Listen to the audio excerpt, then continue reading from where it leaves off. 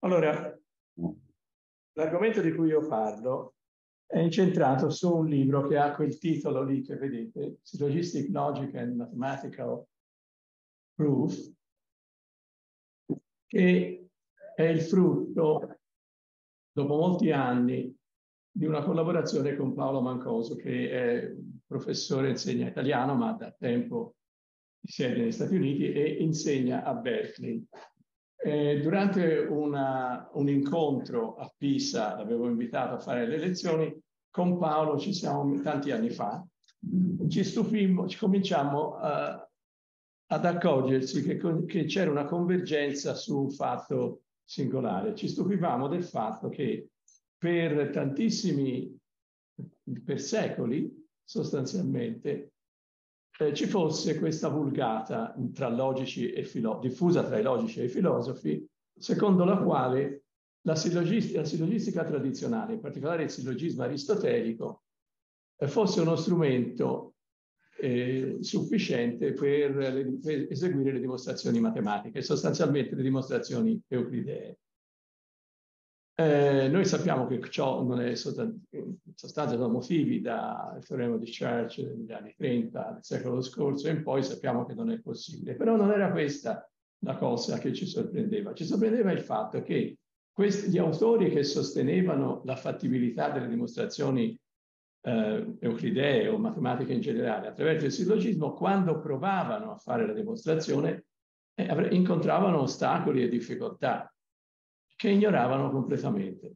Il problema era come mai, perché, e poi c'è qualcuno che invece ha reagito a questa questione e quindi eh, ci siamo messi a, a guardare un po' questa tradizione che è lunga perché parte da Aristotele e arriva sostanzialmente fino alla seconda metà dell'Ottocento. E questo problema si intreccia con un altro problema che era quello da cui, da cui originavano certe mie ricerche, ed è il fatto che per circa 2000 anni eh, nessun logico si preoccupa di approfondire la logica delle relazioni. Se uno prende un manuale, il punto più alto dello sviluppo della logica prima degli sviluppi otto-novecenteschi, che è il periodo medievale, eh, vede che eh, ci sono tanti, girano tantissimi testi che analizzano, eh, per esempio, il comportamento dei condizionali, e i medievali danno gran, molte liste di teoremi di logica uh, che vale per i condizionali, per esempio eh, tutto ciò che antecede all'antecedente antecede al conseguente in un condizionale e continuano a dare, oppure chi nega il conseguente deve negare anche l'antecedente e così via. Non c'è niente sulle relazioni, eppure le inferenze relazionali sono frequentissime nella vita ordinaria, se A è padre di B, B è figlio di A, se A è la sinistra di B, B è la destra di A e così via. Non solo, ma anche e soprattutto in matematica, nessuno gli viene in mente di mettere a norma, di capire cosa succede nella, eh, con la logica delle, delle relazioni. E questo rimane un problema. Noi abbiamo fatto un'ipotesi, ma è un'ipotesi di cui eventualmente parleremo uh, la volta prossima. Allora, intanto, che cos'è un sillogismo?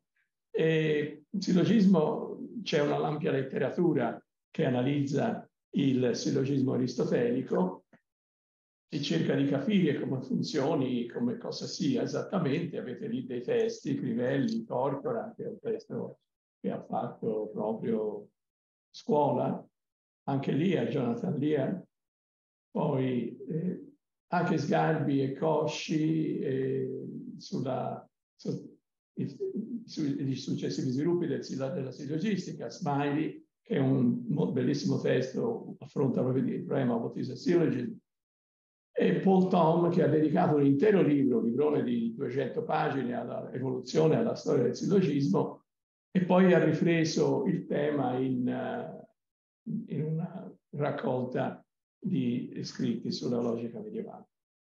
Ecco, noi però non ci occuperemo di tutto ciò, daremo per scontato che si sappia che cos'è un sillogismo, nel senso che a noi basta sostanzialmente questo, la forma più semplice di sillogismo, quello che si chiama di solito sillogismo in barbara, tutti gli uomini sono mortali, tutti i greci sono uomini, tutti i greci sono mortali, in modo quasi formale tutti gli A sono B, tutti i B sono C, tutti gli A sono C, ossia giù avete, al terzo punto avete la rappresentazione simbolica del sillogismo eh, inventata da Leibniz.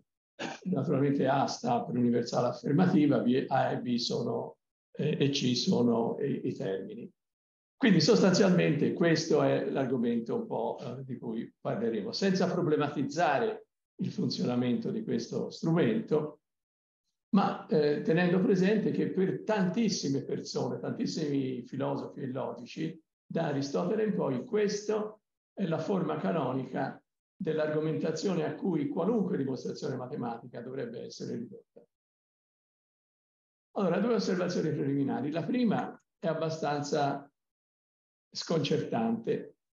Logica e matematica nell'antichità e medioevo sono sostanzialmente due tradizioni, danno luogo a due tradizioni basate una su Aristotele, analitici primi e anche analitici secondi per quello che riguarda filosofia, diciamo, della logica, e Euclide gli elementi. Sono due tradizioni che viaggiano su binari paralleli, non si incontrano. Non si incontrano vuol dire non c'è mai nessuno che dica ma il sillogismo aristotelico o lo strumentario aristotelico o viceversa. Lo strumentario che il matematico standard adopera quando fa un teorema eh, di, di Euclide eh, sono sufficienti, sono, che tipo di strumenti sono, eccetera. Aristotele si occupa occasionalmente, fa esempio occasionalmente di eh, dimostrazioni matematiche, ma è solo un rapporto occasionale.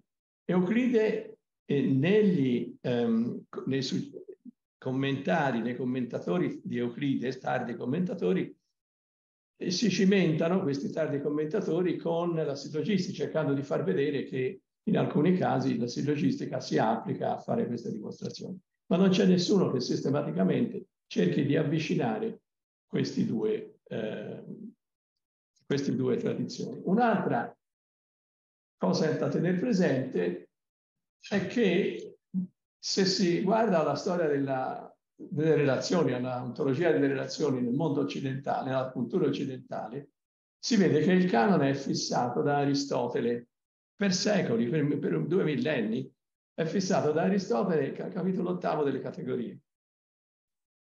E eh, da lì in poi gli sviluppi sono molto limitati rispetto a questa tradizione. Quindi i due punti importanti sono rapporti tra logica e matematica, antichità, medioevo e poi oltre, e l'ontologia, delle relazioni.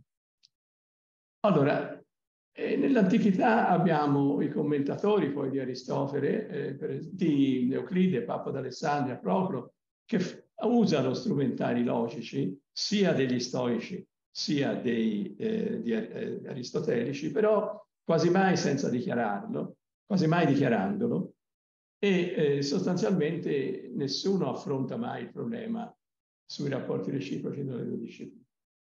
Durante il Medioevo eh, le due discipline erano addirittura insegnate in eh, ambiti diversi. Il trivio, che era composto dalle discipline letterarie, grammatica, retorica e dialettica, cioè logica, e il quadrivio invece consisteva delle discipline scientifiche, aritmetica, astronomia, musica e geometria. E soltanto durante, per quanto strano, assurdo possa parere, è soltanto durante il XVI secolo che la logica, logica e matematica cominciano a comunicare. Allora, è importantissimo in questo caso la riscoperta degli elementi di Euclide. Non è che gli antichi, che i, i medievali non conoscessero gli elementi. Abbiamo dei commenti agli elementi fatti da medievali, ma se uno li va a vedere sono per certi aspetti disarmanti, che la matematica è veramente povera. E poi sembra che proprio non ci sia quasi interesse per, eh, per la disciplina.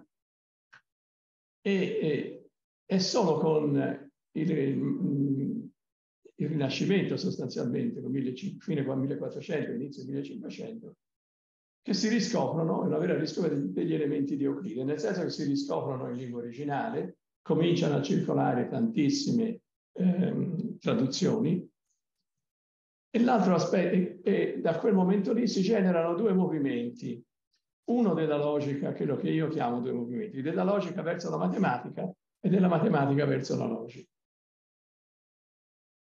Allora, il movimento della logica verso la matematica. Ci sono due signori che iniziano a fare una cosa abbastanza curiosa, questi due, eh, Christian Erlinus e Conrad Nasipodius, eh, che nel 5566 pubblicano a Strasburgo un libro intitolato Analisi geometrica, analisi geometriche dei eh, sei libri di Euclide, il primo e quinto fatto da Cristiano Erlino, l'altro eccetera eccetera. Cosa fanno?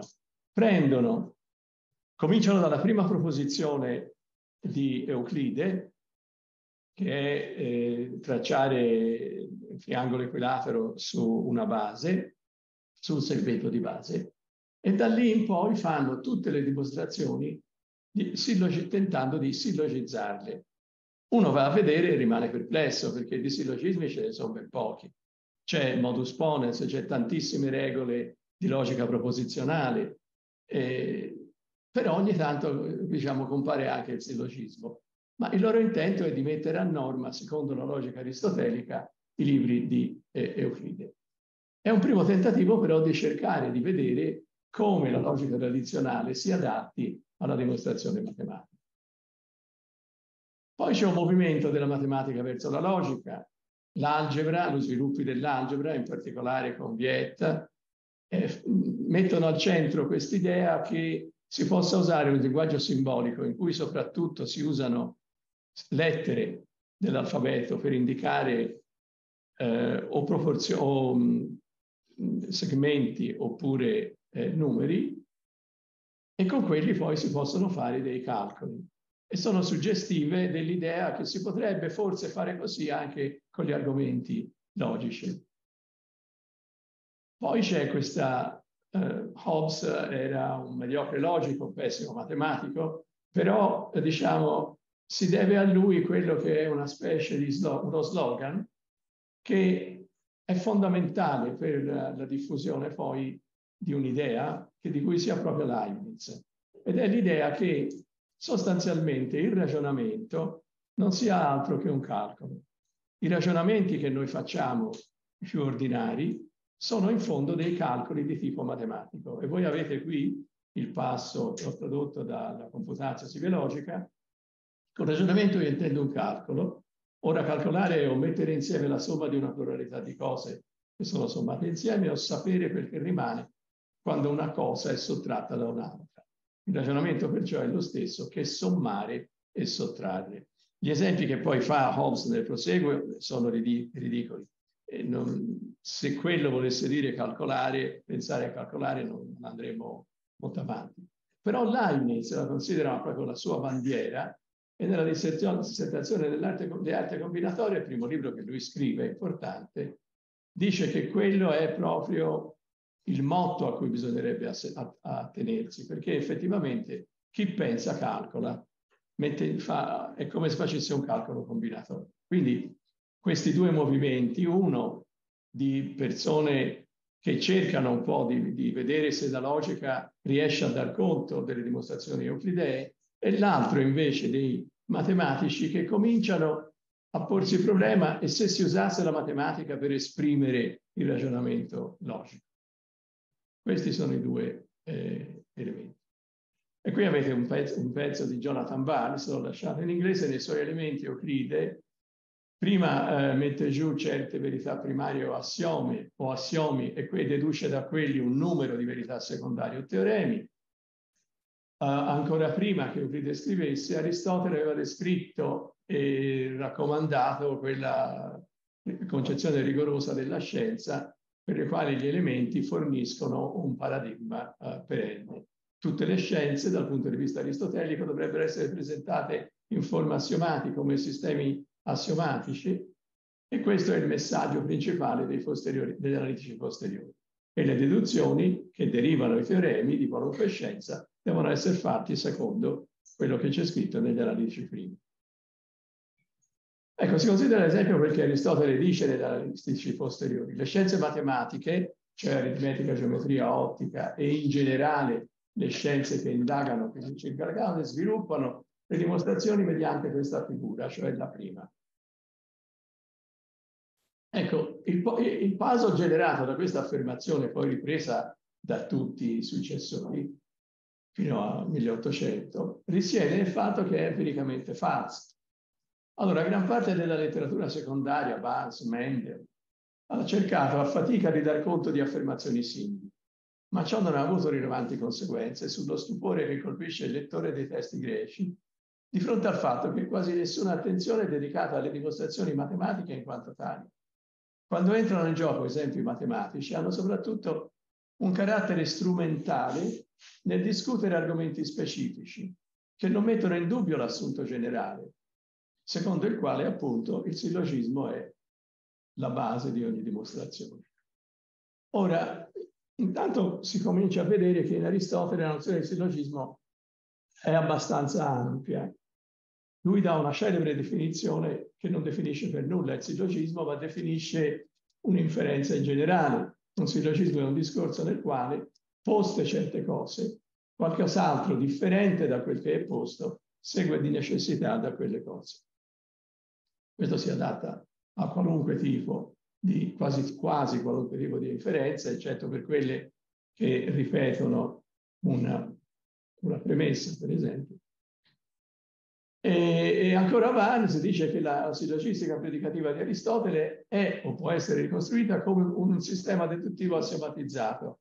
Gli assiomi sono i certi principi di conversione e subordinazione, c'è un principio di riduzione all'impossibile, una regola di esposizione o ectesis e poi eh, i teoremi eh, sono eh, certi principi di conversione e soluzione derivati e poi c'è un numero infinito di sillogismi. In sostanza Aristotele menziona due sillogismi, i primi Barbara e Celarent, Barbara perché tutti eh, gli enunciati positivi, Celarent perché c'è bisogno della negazione e poi anche Aristotele usa questi come assiomi per derivare tutti gli altri. Il dogma, con le radici in Aristotele, consiste nel ritenere che ogni sillogismo in senso proprio è riducibile a un sillogismo in senso ristretto. Anche nel senso ristretto, tuttavia, c'è un certo grado di libertà nel determinare ciò che Aristotele accetta come asserto categorico, quale tipo di termini possono comparire nel sillogismo, come deve essere interpretata la copula appartiene, eccetera. E questo è un testo, quello che menziono, fondamentale da questo punto di vista. Allora, tipica è la discussione in analitici primi 1.24 di un esempio matematico in cui si dimostra che gli angoli adiacenti alla base di un triangolo isocele sono uguali.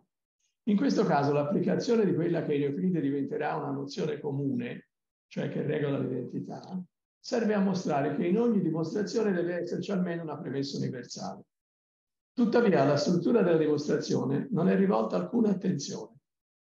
Ed è un esempio interessante perché lo discutono sia Alessandro di Afrodisia sia Filofono. Ed entrambi lo usano per sottolineare che la ricostruzione sillogistica di una dimostrazione matematica richiede un assioma universale, cioè riguardante l'identità, e al tempo stesso per mettere bene in chiaro che la natura sillogistica della dimostrazione è un dogma che non si può toccare.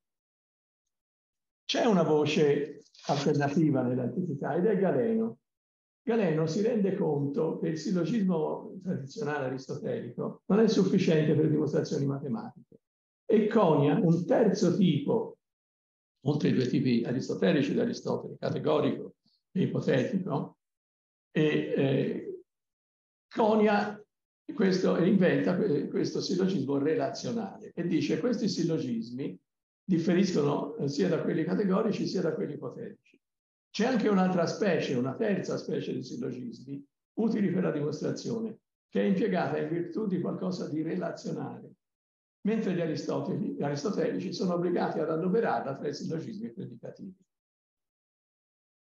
Sillogismi relazionali sono caratterizzati dal fatto che un nuovo assioma è necessario per rendere conto della loro validità.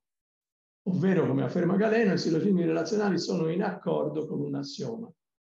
Galeno sottolinea l'importanza di siffatti sillogismi per aritmetici e per chi effettua calcoli e dice, questa è la citazione, dato che c'è questo assioma universale che ha in se stesso la propria garanzia, vale a dire che cose uguali alla stessa sono uguali tra loro, è possibile sillogizzare e dimostrare nel modo in cui Euclide ha dimostrato il suo primo teorema, nel quale dimostra che i lati del triangolo sono uguali, cioè in realtà è un problema, non è un teorema, poiché dal momento che cose uguali alla medesima cosa sono uguali tra loro, e si è dimostrato che il primo e il secondo sono uguali al terzo, anche il primo sarà uguale al terzo. Allora, e quindi però, eh, a quanto se ne sa, il povero Galeno si limita a questa osservazione.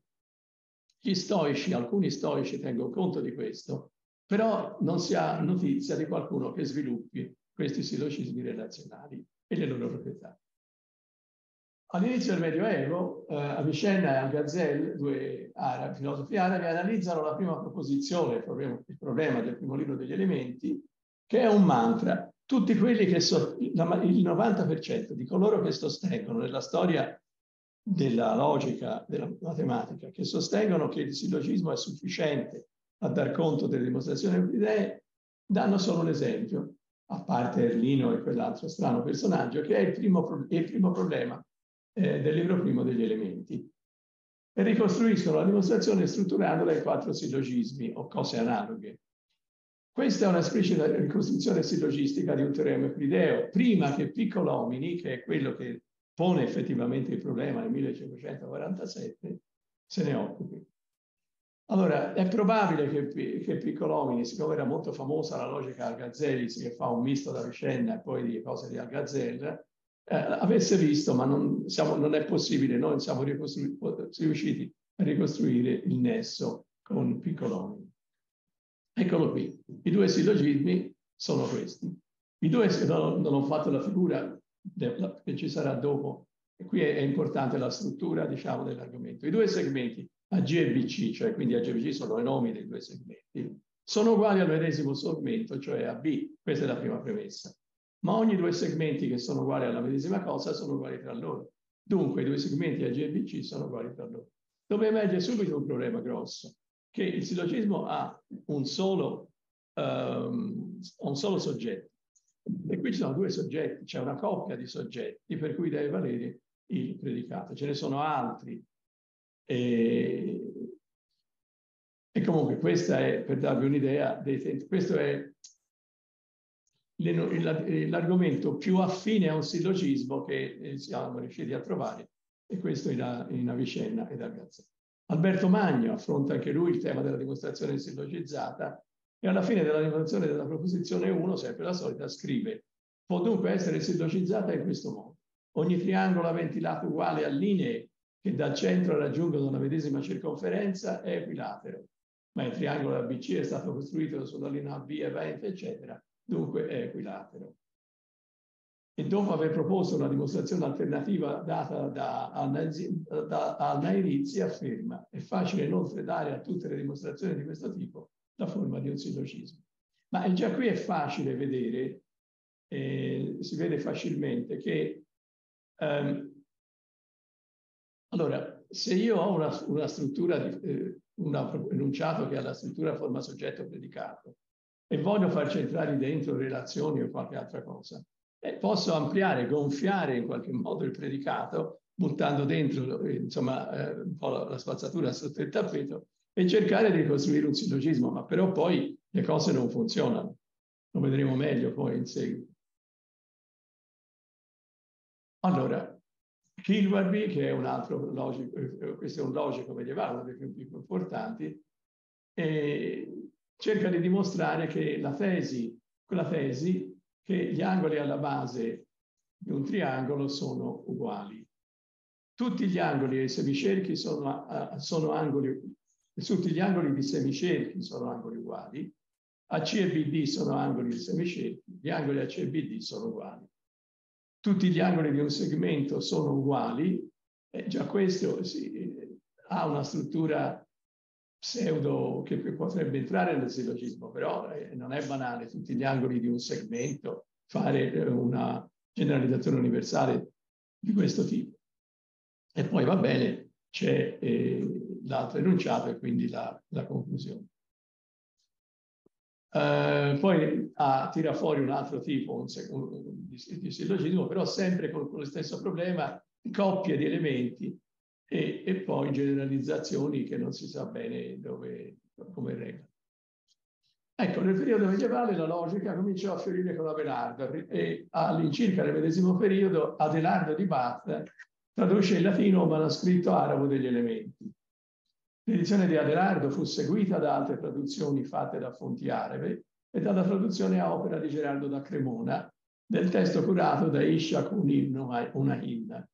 Quindi non è che nel Medioevo non conoscessero uh, gli elementi, solo che, ripeto, i, i, commenti sono estremamente poveri e poi non, non, non hanno interesse per ricostruire le dimostrazioni, eccetto quegli autori a nostra conoscenza che, che abbiamo citato. Nel secolo XIII Campano da Novara prepara un testo dell'opera di, di, Euclide, di Euclide, che poi è usato da Luca Pascioli e Niccolò Tartaglia per le loro edizioni. Nella seconda metà del XVI secolo gli elementi furono tradotti in varie lingue moderne, l'italiano, tedesco, francese, inglese, vedete tutte in periodi di anni abbastanza vicini, spagnolo, olandese. Nello stesso periodo cominciarono a circolare in Europa manoscritti greci, originali, e Bartolomeo Zamberti tradusse gli elementi in latino direttamente dal greco, avviando una nuova era nella ricezione filologica del testo. Nel 1533 Simon Grineus pubblica l'edizio Princeps del testo greco. Quindi vedete è proprio una rinascita totale. Però è soltanto nel commentario sulla certezza della matematica di Piccolomini che compare un'accurata ricostruzione, in termini sillogistici di una proposizione euclidea, motivata da uno specifico programma filosofico. Questo è il testo, il titolo, Alexandre Piccolomini Mechanicas Question Aristotelis e in A nello stesso testo c'era chiuso commentario delle certitudini matematicarum disciplinarum. Perché Piccolomani è preoccupato, si preoccupa del problema se la matematica sia lo strumento adatto per la dimostrazione, se la, il sillogismo sia uno, uno strumento adatto per la dimostrazione matematica. Allora, com'è la struttura della dimostrazione secondo la tradizione, quindi ereditata dai greci in poi? C'è un enunciato, l'enunciato del, del, teorema, l'enunciato da dimostrare, che è questo, su, e poi c'è la, su uh, la costruzione, quindi la protesi è l'enunciato. Su un segmento dato si costruisca un triangolo equilatero. C'è l'esibizione, che è una, o una costruzione o c'è il punto di partenza. Nel caso del, del teorema che stiamo considerando, c'è un, un, un, segmento. Si prende un segmento, questo è l'ectesis, si fissa il segmento. C'è la determinazione dello scopo, cosa si vuol fare. La costruzione, si dice che puntando il compasso nel punto, nell'estremo A e con eh, raggio eh, pari al segmento si, rifà, si traccia il raggio e così via, che i due, eh, le due circonferenze si incontrano in un punto, eccetera. E poi c'è la apodex, la dimostrazione. Ora, di tutto questo arnese qui, quella che conta è la podexis, cioè è lì che si deve esercitare il sillogismo. Prima ci possono essere tutta una serie di ragionamenti non sillogistici, ma lì si dovrebbe misurare la podexis proprio con la, il sillogismo. E poi la conclusione. La conclusione è sì, i, i, due, i due lati del triangolo ABC sono uguali. Uh, allora, il punto importante è che la, la scienza aristotelica è fatta di sillogismi scientifici.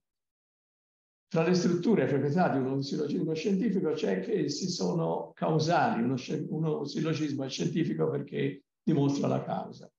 Piccolomini non critica la nozione di una scienza aristotelica e il ruolo del sillogismo scientifico. Piuttosto il suo scopo è mostrare che la ricostruzione sillogistica dei teoremi geometrici di Euclide mostra che i sillogismi non sono causali, contrariamente a quei, alla richiesta di Aristotele. Però questo a noi non interessa, è però per spiegare la motivazione. Quindi non è nemmeno in piccolomini il desiderio di far vedere che la sillogistica è sufficiente a fare dimostrazioni aristoteliche e dimostrazioni euclidee. Anche in lui lo scopo, diciamo, è eterogeneo. Questa è eh, la figura eh, per fare la dimostrazione e questa è la fotexis. Dal momento che il punto A è il centro del cerchio CBD, CDE, scusate, no, CBD, va bene, è il cerchio, di, il cerchio che è alla mia sinistra, AC è uguale ad AB, perché sono eh, raggi di uno stesso cerchio. Il cerchio questo più a sinistra eh, ha eh, due raggi AC e AB che sono uguali. Uh, di nuovo, dal momento che il punto B è il centro del cerchio, CAE, BC è uguale a BA, cioè gli altri due eh, raggi, ma si è dimostrato che CA è uguale ad AB, dunque ciascuno dei segmenti CA, CB è uguale ad AB e cosa uguale alla medesima cosa sono uguali tra loro, dunque, eccetera, eccetera. Allora, di tu, lui sviluppa vari sillogismi, non conviene stare dietro. Noi nel nostro libro siamo stati molto puntigliosi, il lettore poi sarà affranto, penso, quando lo guarda, perché abbiamo preso ciascuna di queste dimostrazioni e, e analizzate. Per non angustiarvi ulteriormente, prendiamo questo secondo sillogismo. Cose che sono uguali a una terza sono uguali l'un l'altra, ma C e BC sono uguali alla terza linea AB, AC e BC sono uguali l'un l'altra, tra loro. Uh, allora, la quantificazione plurale, intanto qui abbiamo una quantificazione plurale, cose che sono uguali a una terza, e questa sembra fare riferimento a una premessa della forma. Tutti i φ sono Q. Ma quale sarebbe come rappresentare il soggetto P? In questo caso, lui dice no, eh, cose che sono uguali a una terza sono uguali tra loro, ma A C e BC sono uguali a una terza linea AB. E allora prendiamo per esempio la premessa minore, AC e BC sono uguali alla linea B. AC e BC è una pluralità, una coppia, e si dice che sono uguali alla terza linea. Il sillogismo avrebbe forma P, allora P se P, eh, P, Q, P e Q tutti P sono Q, ma come rappresentare qui P? E allora eh, noi diciamo proviamo con per P eh, essere uguali a un terzo e essere uguale null'altro per Q. Ma allora noi dobbiamo intendere i due predicati come se fossero soddisfatti non da oggetti individuali, ma, ma da coppie o pluralità di, di, linee, per esempio ACB, AB, dove eh, le parentesi non vogliono dire che c'è un ordine, possono essere tranquillamente l'uno precedere l'altro. Quindi la proposta è P, il soggetto della premessa minore lo prendiamo come se avesse una coppia come soggetto. E allora diventa due cose che sono uguali a una terza cosa sono uguali tra loro. Bisogna ricondurre uno alla forma generale, tutti P sono Q. Tutte le cose che sono uguali a un'altra cosa P sono uguali a loro Q, AC e BC sono uguali al segmento AB e la 4 diventa ACBC sono uguali al segmento AB. Quindi abbiamo fatto queste trasformazioni per rendere, diciamo, per mettere nel vestito del sillogismo quella inferenza lì. Quindi viene, tutte le cose uguali a un'altra cosa sono uguali tra loro. AC e BC sono uguali al segmento AB, dunque AC e BC sono uguali tra loro. Ora, se si accetta questa trasformazione, rimane il problema del termine medio, che nella prima premessa è essere uguali a un'altra cosa. E già qui eh, le cose non sono messe bene e nella seconda essere uguali al segmento AB.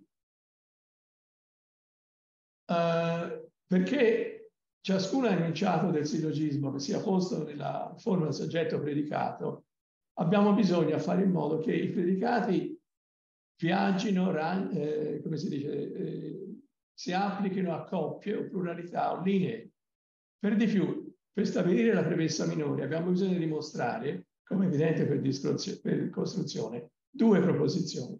Che BC connette il centro del, circolo AC, del cerchio AC, ACE con la circonferenza, che AB connette il centro del cerchio ACE con la circonferenza. E però qui allora dobbiamo scrivere una cosa del genere. BC connette il centro del cerchio ACE alla circonferenza e AB, e quindi abbiamo una enunciato proposizionale, che non c'entra con sillogismo. E, e, allora cerchiamo però noi di facilitare le cose e dire BC e AB connettono il centro del cerchio ACE alla circonferenza, cioè facciamo il gioco di passare la congiunzione dalle due proposizioni ai due soggetti. E però questo non è il medesimo di BC e AB, connettono la coppia BC e AB, connette il centro del cerchio ACE con la circonferenza. Si può ritenere che sia simile, ma non è la stessa cosa. In altre parole, l'identificazione surrettizia di BC e AB con la coppia BC-AB, che è un unico oggetto, è responsabile dell'apparente connessione tra le tre preposizioni nel, nel presunto sillogismo che stiamo considerando. Uh, lo stesso accade con eh, i due personaggi, Erlino e Dasipodio, i quali sono anche più svergognati perché usano proprio strutture e non eh, argomentazioni non sillogistiche e poi le chiamano sillogismo. E quello che rimane di analogo col sillogismo c'è solo quest'idea che c'è una premessa, c'è una conclusione, c'è una seconda premessa e poi una conclusione. E c'è eh, questo McKiran che ha discusso estensivamente la dimostrazione di Erlino e Dasipodio del primo teorema, sempre il solito, e ha fatto vedere che è assolutamente eh, insufficiente. Vi risparmio tutto questo Clavio e qui inizia ora un periodo di, diciamo, un po' furbacchioni che si schierano tutti con Clavio, che dice una cosa estremamente sensata, eh, diciamo. Tutte le proposizioni, non solo, non solo in Euclide, ma in tutti gli altri matematici, possono essere risolti nel medesimo modo. I matematici, tuttavia, nelle loro dimostrazioni, non usano una tale risoluzione, poiché senza di essa, di essa, essi dimostrano ciò che è necessario in un modo più corto e più facile. L'idea è questa, che però guardate quello che anche oggi direbbe un logico di professione. C'è una dimostrazione matematica, dice benissimo, io ve la posso ridurre tutta in uh, modus ponens, uh, negazioni e cose del genere, generalizzazioni, eccetera, però eh, il modo matematico di ragionare è molto più facile e quindi io mi attengo a quello e basta sapere che è possibile dare una forma logica a questa dimostrazione. È lo stesso praticamente che dice Euclide, Euclide e, e Clavio. Clavio dice è noiosissimo fare la cosa per via puramente eh, sillogistica, i tanti matematici la fanno lo stesso. Basta sapere che si può fare. E su questo si può fare e poi campano tutti quegli altri che vengono dopo. Quindi questo è il punto, vi ripeto, vi ho risparmiato analisi puntuali che mi interessava dare un po' il succo della vicenda. E invece mi occupo nella parte restante di quest'altro problema, strettamente connesso al primo, perché capite bene che se in un, sillogi- in un sillogismo, io presunto sillogismo, io metto una premessa relazio- con una relazione, un enunciato relazionale, poi non ho più a che fare con il sillogismo, non so più nemmeno come il sillogismo funziona. Ehm, e quindi il problema delle relazioni è piuttosto importante. E ci sono connessi due problemi piuttosto complicati. Uno è quello ontologico. Come da Aristotele in poi inte viene intesa l'ontologia delle relazioni, e l'altro logico. Quando di fronte a, a proposizioni, a dimostrazioni in cui entrano relazioni, come reagiscono eh, nella tradizione.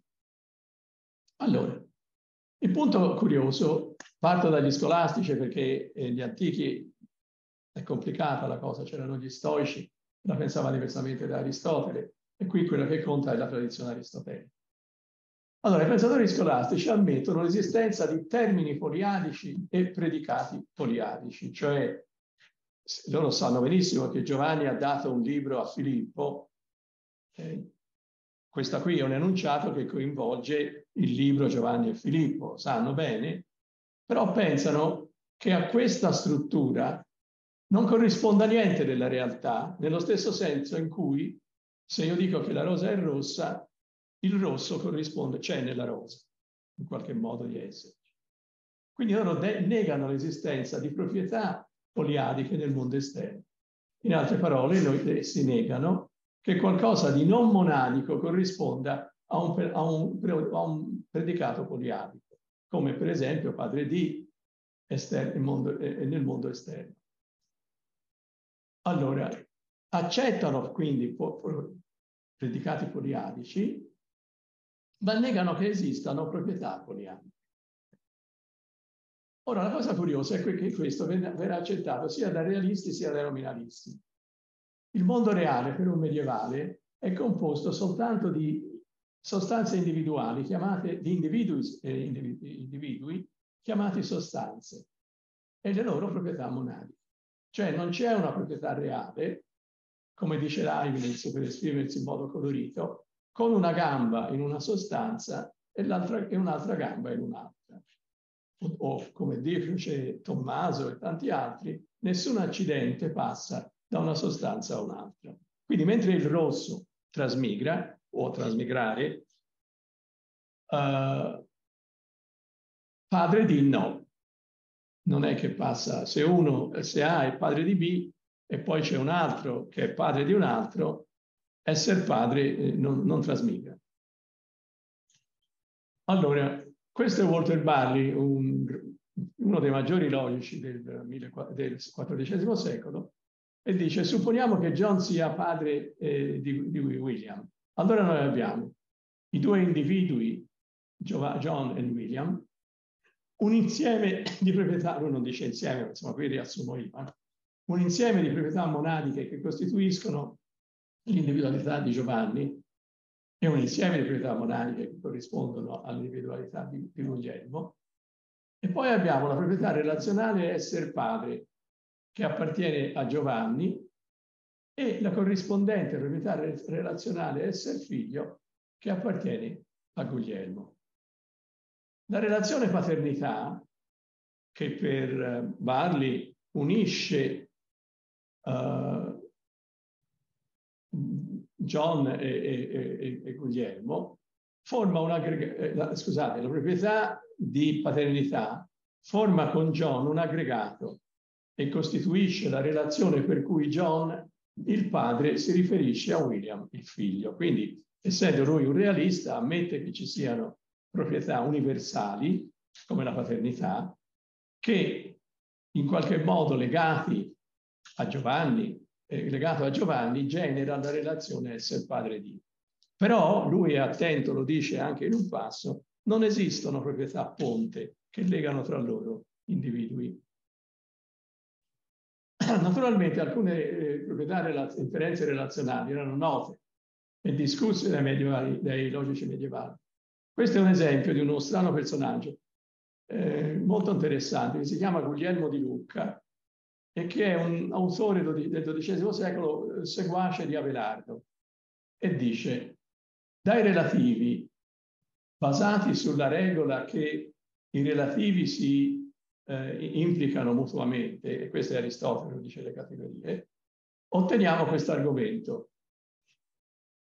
C'è, c'è paternità o padre, dunque c'è filiazione o figlio. Dunque, questo è il padre di quello, perciò quello non è il figlio di quella medesima persona. Tutto ciò in virtù della regola che i relativi non possono ehm, concordare sotto il medesimo rispetto alla medesima cosa. Quindi se A è padre di B, eh, C non è padre di B. Dunque, Socrate è il padre di Platone, dunque Platone è il figlio di Socrate, in virtù della regola che i relativi si riferiscono l'un l'altro. Quindi hanno un'idea delle regole che, che possono gestire eh, gli enunciati relazionali, fanno con disinvoltura, additano con, con disinvoltura certi enunciati relazionali come paradigmatici. Però cosa succede? Se uno va a vedere, vede che questo signore si limita a queste osservazioni sporadiche e non tenta di sviluppare l'argomento delle differenze relazionali ulteriormente. Altri logici medievali si comportano analogamente quando hanno a che fare con l'utopica delle relazioni.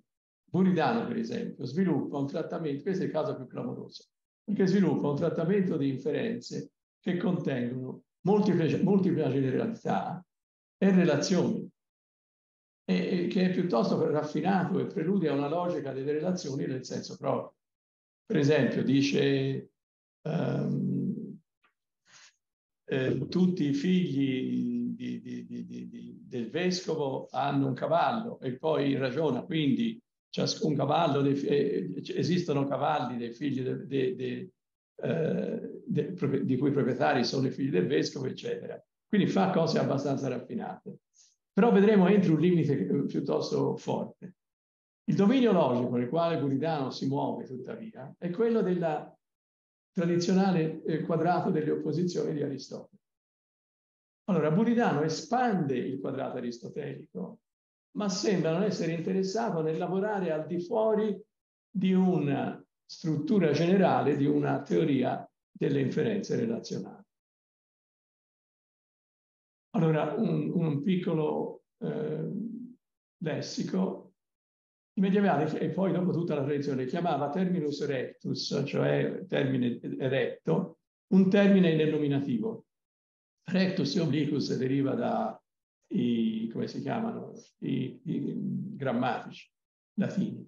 Un termine obliquo è un termine che non è nel caso nominativo, per esempio di Cesaris, di Cesare, homine all'accusativo, eccetera. E i medievali dicono esplicitamente che i termini obliqui, in, in parecchi casi, suggeriscono l'impresenza di relazioni. Di questo sono consapevole. Quindi uno vuole cercare una logica, ci volesse cercare logica eh, delle relazioni medievali, va a vedere come vengono trattati i sillogismi obliqui o le obliquità. Ecco l'esempio, questo è di Buridano.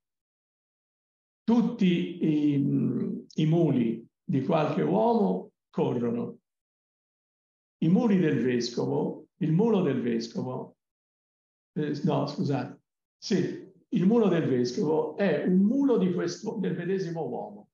E qui siamo a livelli raffinatissimi, l'ho fatto in inglese, fine è facilissimo, perché la, la seconda premessa è eh, il mulo del vescovo è un mulo di questo medesimo uomo. Qui c'è il tentativo di venire a capo di un'anafora usando relativi del quale, il quale, eccetera, e lui lo risolve così, usa use them, eccetera. Quindi, vedete, mettono nel, nel sillogismo, immettono anche le anafore, e quindi la conclusione è eh, l'asino, eh, il mulo de, del vescovo eh, corre. Uh, si arriva a un certo punto poi la gente smette di occuparsi della, della logica medievale e c'è la reazione eh, alle complicate argomentazioni logiche dei medievali e si arriva a questo autore tedesco, Joachim Ungius, molto stimato da Leibniz, che nel 1638 pubblica la Logica Burgensis, però pubblica, prima scrive una tonnellata di pagine eh, di logica, che Leibniz a modo di vedere, Leibniz lo apprezzava molto come logico, questi testi poi bruciano in un incendio, perché lui, un suo allievo, eh, mutua il lascito di, di, di Ungius, in un incendio vengono distrutti questi manoscritti, però Leibniz ha fatto in tempo a copiarne una buona parte, quindi perché sappiamo della logica di Ungius non pubblicata, eh, lo, lo, sappiamo attraverso inediti di testi di Leibniz pubblicati di recente. Ora, Jungius è un buon logico e fa una cosa epocale, cioè fa il riconoscimento esplicito che alcune inferenze che implicano relazioni non possono essere ridotte al sillogismo. Sebbene queste inferenze non fossero sconosciute completamente ai medievali e anche Aristotele, nei topici Aristotele ne dà degli esempi, quel che fa Jungius è che asserisce in maniera categorica che sono primitive, che non hanno una natura sillogistica e non sono riducibili al sillogismo. Questo è un passo molto importante. Una di queste eh, cose che eh, Jungius inventa è questa che c'era già, eh, però gli dà, gli dà, un nome, eh, Jungius dà un nome a questa inferenza che si trova già, se non sbaglio, nei topici. È una conseguenza dal retto all'obliquo. E questi sono esempi. Ogni, circolo, ogni cerchio è una figura, Quindi chi descrive un cerchio descrive una figura. Ogni noce è un frutto, la, la, ogni si chiama, scimmia si nutre eh, di noci, quindi le scimmie si nutrono di frutta, di frutti. Ora, soprattutto il primo, è evidente, c'è un celebre passo di De Morgan, di cui ci occuperemo eh, se, chi, chi resisterà la seconda puntata. De Morgan porta un esempio, proprio quell'esempio lì, un esempio analogo di asserzione che non può essere ridotta al sillogismo. Eccolo qui. E questo è De Morgan. Ogni uomo è un animale, chi uccide un uomo uccide un animale. Ed è la stessa inferenza eh, propagandata messa avanti da Jung, che, che, non ci pensa nemmeno a conoscerlo De Morgan. Però De Morgan dà grande peso a questa sua scoperta, ma era già una cosa eh, evidente a questo logico. Quindi quello che vi ho detto, nelle certa che Leibniz prende da Jungius, il, il sillogismo tradizionale è, espa, è espanso con l'inclusione di ciò che Jungius chiama il sillogismo relativo, semplice e composto. Un esempio di semplice relativo sillogismo è ogni figura è grande, più grande di qualunque figura iscritta in essa, cioè nella figura stessa, il circolo è una figura, eccetera, eccetera. Quindi vedete anche qui anafora e uso poi proprio di relazioni. Ecco, un altro importante personaggio in questa strada è questo Johannes Vagetius, che è un uh, allievo di Jungius, pubblica una appendice alla logica hamburgensis e qui veramente è importante perché dopo aver discusso certi argomenti proposti da noi Nicole, suggerisce di come eh, modificare in meglio, cambiare la dimostrazione di Clavio del primo teorema di Euclide. Per questo scopo, prima cita la dimostrazione di Clavio e poi fa vedere come le cose sarebbero meglio se impiegasse, se venissero impiegate sia la inversione di relazione, che è delle, eh, degli enunciati, degli argomenti proposti da Jungius, sia l'inferenza dal retto all'obliquo. Il Vaghezio attribuisce logico, la medesima struttura logica, per esempio, a queste due inferenze della dimostrazione che noi ci siamo sciroppati, e però eh, in cui Vaghetius fa questo. Eh, dipingere è un'arte, chi impara a dipingere impara un'arte, e, e, questo è curioso perché lui qui non sa come fare, vedete i limiti del sillogismo. Il lato AB è qualcosa di identico, ciò che è uguale al, al lato AB è uguale a qualcosa di identico. Vedete, c'è proprio eh, l'incapacità di riuscire a mettere a norma, eh, diciamo, la logica diversa dal sillogismo alla sillogistica e si ricorre a questi trucchi qui, abbastanza ingenui per certi aspetti. Però la cosa interessante è che questo Vagetius prende la dimostrazione di Clavio e la rifà dando spazio all'inversione di relazione, al passaggio dal retto all'obliquo, eccetera. Incidentalmente eh, osserva anche che le cose funzionerebbero meglio se si potesse quantificare il predicato, che lui fa, cosa che lui fa nelle sue dimostrazioni. Cioè eh, tutti gli A sono B, tutti gli A sono alcuni B. Questo lui licenzia come legittima questa inferenza che, eh, verso la quale invece Aristotele aveva eh, dato un parere negativo.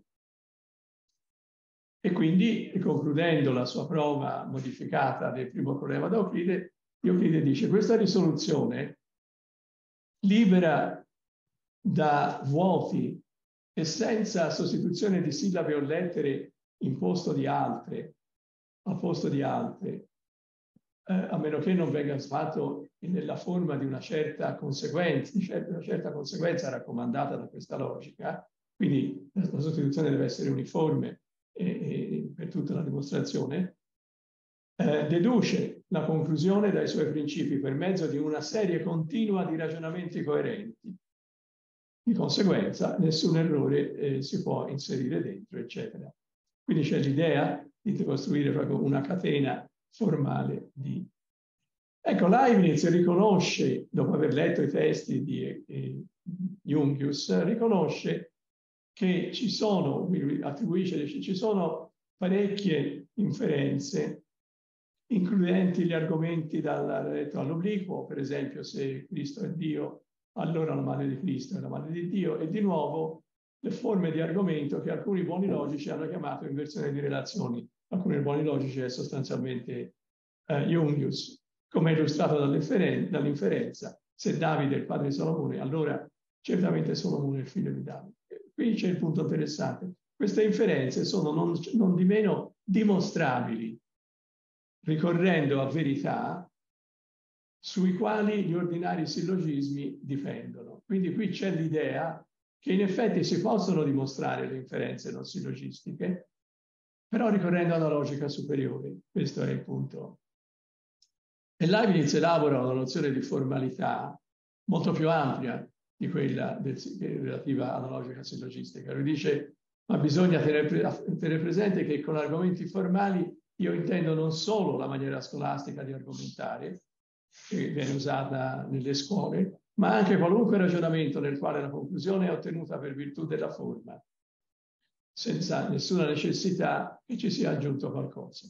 Così un surite, un surite vuol dire una successione di sillogismi in questo senso, o altre conseguenze di sillogismi in cui la ripetizione è evitata, oppure un, uh, un, un, un calcolo algebrico, un'analisi infinitesimale. Tutto questo io lo, conterò, lo considererò come argomenti formali, più o meno, perché, poiché in ciascuno di essi la forma del ragionamento è stata dimostrata prima, in modo che uno è sicuro di non andare a finire in errori la maggior parte delle dimostrazioni di Euclide fu, eh, sono eh, molto vicine a essere argomenti formali. Quindi qui ci si svincola poi completamente da... Eh. Ecco, l'ultimo personaggio è questo, questo Caramuele Lovkovitz, che è un, uh, uno spagnolo che pubblica una logica obliqua, quindi uno che prende proprio in considerazione le obliquità, quindi una logica delle relazioni, e la pubblica nel 1654 e propone una originale, un'analisi originale della struttura di una proposizione elementare per farla entrare nel sillogismo. E qui è interessante perché dice esattamente la stessa cosa che dirà De Morgan qualche secolo dopo. Per esempio, dato l'enunciato, Ferdinando è un principe apprezzato dal popolo, egli considera Ferdinando e popolo come i due termini della relazione. E è un principe apprezzato da come la copia. Analogamente nel caso di Pietro può, può andare rapidamente a Roma, Pietro e Roma sono i termini della relazione e eh, potrebbe, eccetera, la copula, che secondo lui, secondo quanto dice, è composta da tre parole. Quindi qui è interessante perché per la prima volta si ha quell'idea che la copula possa assumere la forma di una qualsiasi relazione, non soltanto dell'inclusione. Così come Caramuel osserva, le seguenti inferenze sono tutte valide. Caio è fratello di, di, Pietro, dunque Pietro è il fratello di Caio, eccetera, eccetera. Um, ecco, mentre, queste la cosa importante di Caramuele è che lui osserva che queste sono tutte inferenze valide perché sostanzialmente sono simmetriche. E lui si accorge di questo, anche i medievali se ne era accorta, però nei medievali non c'è nessuna teorizzazione di questo fatto. E lui invece per la prima volta lo teorizza. Lui osserva che queste sono invece invalide. Una malattia ha ucciso Pietro, dunque Pietro ha ucciso una malattia. Eh, un fiume ha inondato la città, dunque la città ha inondato il fiume. Queste sono assolutamente invalide. E quindi lui scrive eh, questa regola generale, se una relazione è simmetrica, allora la sua conver- conversione è eseguita secondo il modo usuale. Se è asimmetrica, discrepanzosa, allora è eseguita secondo lo stesso modo, ma un singolo uh, segno di, di, negazione deve essere aggiunto alla proposizione convertita, che, eh, a, come si dice, modificando la copula, trasforma la proposizione stessa in una negativa. E questo non funziona, Quindi lui ha l'idea sana, corretta, che ci siano relazioni simmetriche e relazioni non simmetriche, asimmetriche, e da, eh, spiega come questo funzioni, però poi per passare da una relazione asimmetrica, da un pronunciato con relazione asimmetrica alla sua negazione, alla sua um, conversa da una regola sbagliata. Quando la relazione è asimmetrica, uno non può inferire da Rxy che Ryx, ma non è corretto, contrariamente a quello che Caramuel sostiene, che si possa passare da Rxy a non Ryx. È facile, ci sono controesempi banali. Da John dà qualche cosa a Mary, non segue che Mary non dà qualche cosa a John. Soltanto se la relazione non è mai simmetrica, inferenze di Caramuel funzionano. Ma allora dare, in, invidiare e, cos così via, eh, che lui adopera, eh, verbi che lui adopera, non sono esempi di tali relazioni. Un altro esempio, un'altra novità di, del trattato di Caramel è il tentativo di trovare criteri per l'equipolenza delle proposizioni oblique che contengono proposizioni quantificate e negazioni. Così, per esempio, Caramuel eh, afferma che ogni santo ama ogni suo vicino, è equipollente a nessun santo non ama ogni suo vicino e così via. E però poi si ferma e sono tutte, il problema importante, sia per questo che quello ultimo che vi faccio vedere nell'ultima slide, è che queste inferenze funzionano per, in base alla upward monotonicity oppure alla downward monotonicity dei eh, quantificatori della, de, del quadrato aristotelico tradizionale. Assumiamo A e B come nomi di un linguaggio naturale, generale e f di A e f di B come enunciati che contengono questi nomi. Le regole della upward and downward monotonicity possono essere rappresentate come, come segue. Se io ho un caso di upward monotonicity, cioè vuol dire che se ogni A e B vale f di A, allora vale f di B. E invece la downward è nell'altro senso. Se ogni A è B, f di B, e vediamo gli esempi di questo.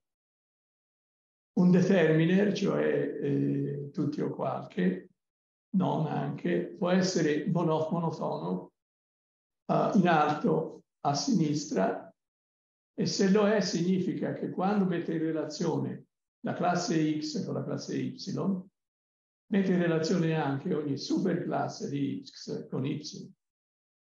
Prendiamo un caso di monotonicità up on the left. Se il determina eh, connette x a y e se z è incluso in, e se x è incluso in z, allora mette in relazione z a y. Analogamente per la monotonicità up on the right. Se il determine collega x a y e se y è il sottinsieme di z, allora collega x a z. Ecco due esempi. Ogni è monofono, è monofono down a sinistra e monofono up a destra, per esempio, e down a sinistra. Ogni cane corre, ogni bassotto appartiene alla, alla classe dei cani, dunque ogni bassotto corre. Up a destra, ogni uomo è animale, ogni uomo appartiene agli esseri viventi, dunque ogni uomo appartiene alla classe degli esseri viventi. Voi vedete già da questi esempi che se scegliete la, la premessa minore in modo che ci abbia dentro delle relazioni, funziona l'inferenza. Forse ho dato, no, non ho dato esempio.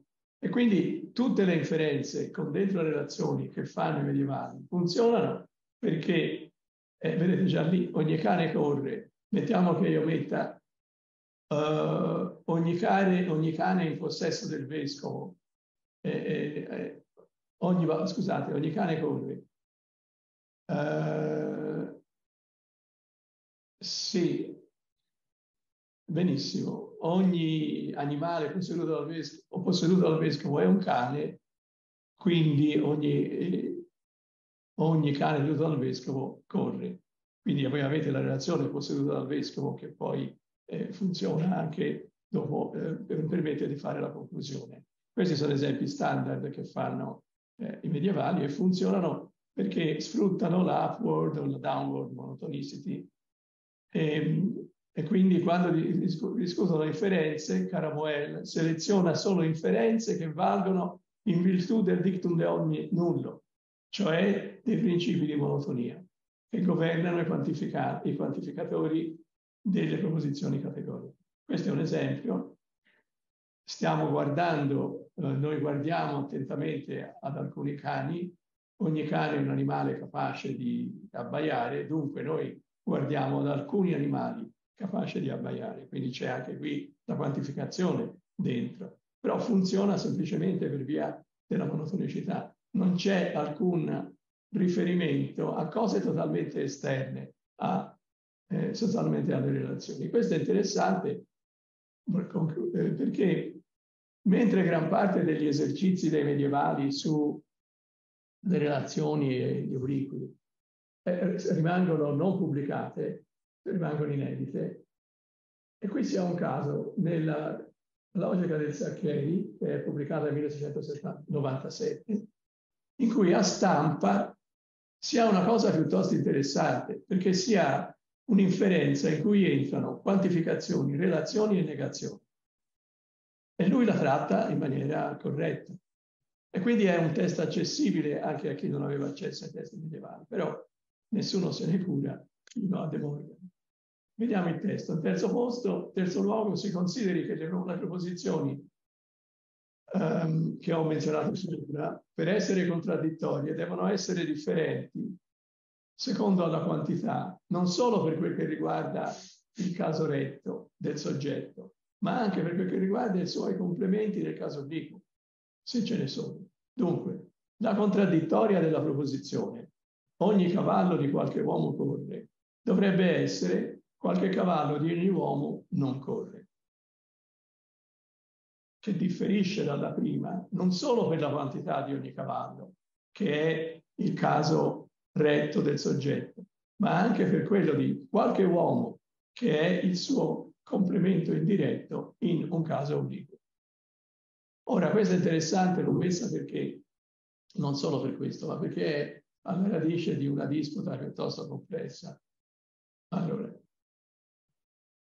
um, questa qui ammette, allora questo è ogni cavallo in inglese, ogni cavallo di qualche uomo corre. La particella ov in questa proposizione corrisponde al genitivo in latino ed esprime una relazione di possesso e implica un riferimento anaforico. C'è un uomo che possiede cavalli e ogni cavallo di quest'uomo corre.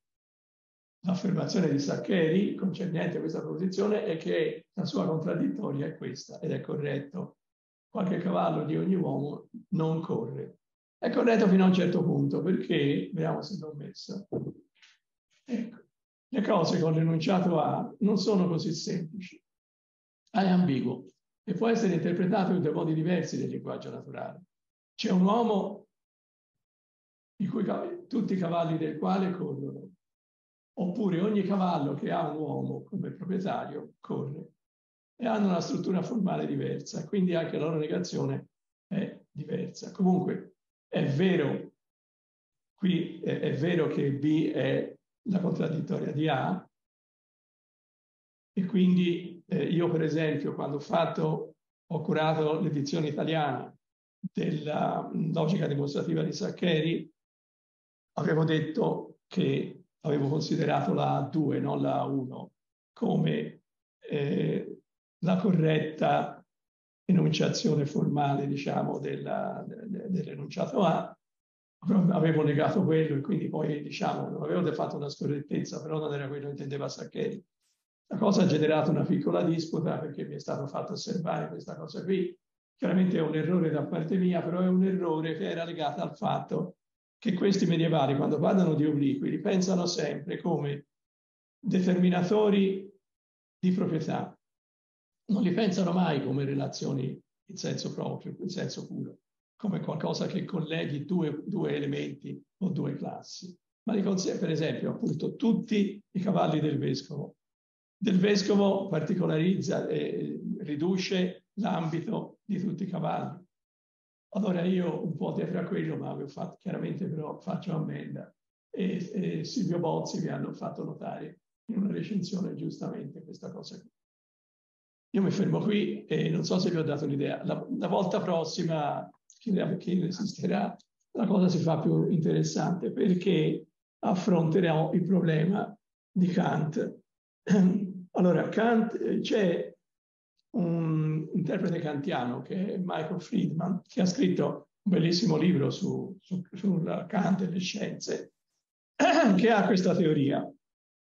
Il passaggio di Kant eh, che, che, gli fa istituire i, um, gli, l'a priori sintetico, cioè i giudizi sintetici a priori, e che gli fa dire che i giudizi della matematica sono tutti giudizi sintetici a priori, è dovuto al fatto che lui si rende conto che la logica tradizionale, siccome nella logica tradizionale entrano le relazioni, non è in grado di fare le dimostrazioni matematiche. Questo è più o meno l'assunto di Friedman. Secondo noi questo è sbagliato. È sbagliato nel senso che Kant non, non, non si accorge di nulla in questo senso qui e che Kant sceglie e tira in ballo eh, il sintetico a priori per altri motivi. Questo sarà l'argomento principale della prossima eh, chiacchierata. In più, parlando di sostanzialmente De Morgan, che è quello che introduce per primo un abbozzo di teoria logica eh, delle relazioni. Questi, diciamo, saranno i due punti su cui ruoterà eh, l'argomento. Basta, grazie.